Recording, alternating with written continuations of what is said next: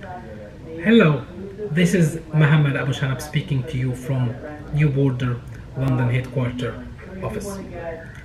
We will continue discussing about what kind of requirements or what kind of details you will need to provide when applying to UK visit visa um, from overseas. One of the question of the thing that we always get about do I need to provide my all the trips or all the travel overseas from my home country or my country of residence during the last 10 years or no. That's too much information.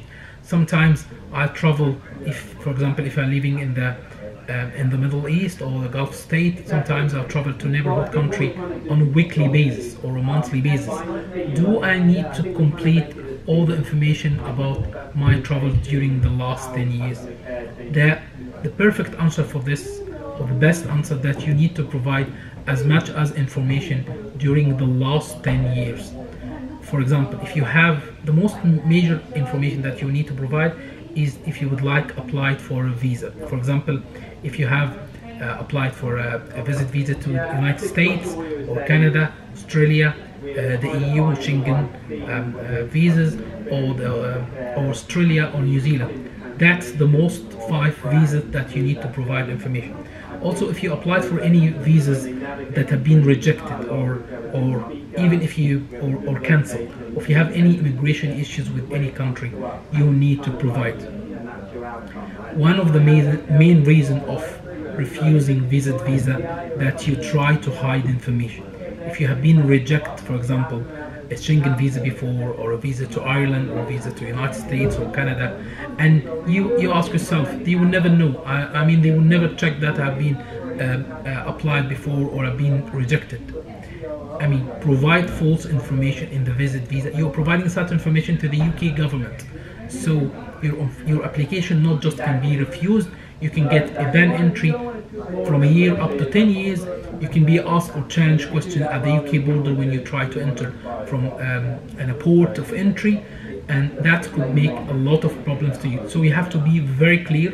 You have to be that information you provide about the done the, the last 10 year travel history.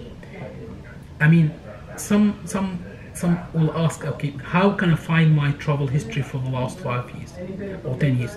Depending on your passport you have to check your passport. You can check your um, hotel bookings you can check you can check your air travel tickets. You'll find all the information about this and try to be accurate as possible.